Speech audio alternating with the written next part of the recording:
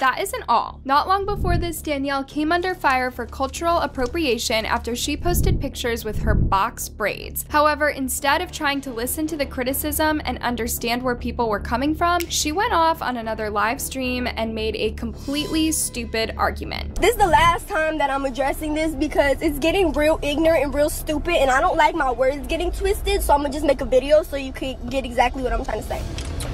So my comment was made towards the black women who had something to say about my hair. Like I said, to the black women who are saying my hair ain't meant for box braids, that's what I said.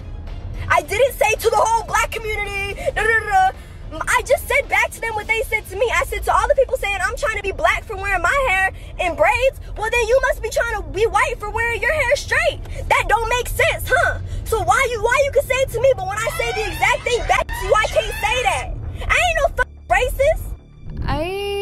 Don't really know how she thought this was a reasonable comparison to make, as natural straight hair is not exclusive to white people, whereas box braids hold a lot of cultural and historical significance to the black community. Since then, she followed up the video with a post to her Instagram story where she doubled down on her argument. In the post, she wrote, To all of the black females that are saying my hair isn't meant for box braids, guess the what? Your hair isn't meant to be straight, but y'all glue whole wigs onto your heads and sew Brazilian slash Indian slash Peruvian hair, which isn't anything like your natural hair texture at all. And I don't say a goddamn thing. Neither do the other cultures that you get your hair from. And on top of that, I'm not one of the people who has ever made fun or said anything bad about girls with box braids or any type of braids. I completely agree that would be out of line and cultural appropriation if I was trashing black girls for wearing braids and then getting them, but that's not the situation, so leave me alone. Since then, people kind of stopped paying attention to Danielle, and the only times that people would really be discussing any news surrounding her would either be due to her drastically changing her natural features or for the huge amount of success that she has seen through her new career on OnlyFans. Her new career ventures have become so huge, in fact, that she was recently invited to speak to students at Oxford University, which is one of the most prestigious universities in the entire world. So, how did Danielle respond this time to all of the drama surrounding her blackfishing? Well, it seems like she's had enough of dealing with valid criticism, as shortly after making the initial post, she deleted off all of the content on her entire Instagram page. However, However, as of recently, she has since reposted all of her content, including the post that caused all of the controversy in the first place. So it seems like she has just taken a moment to get off of social media and come back completely unbothered by her own